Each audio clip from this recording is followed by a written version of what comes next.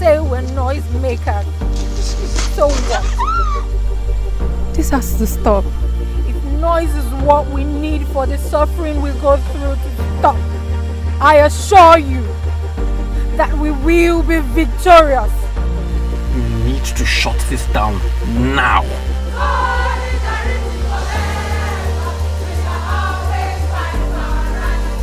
Improve our welfare. Stop the illegalities and create an environment that matches the falsehood you sell to the public.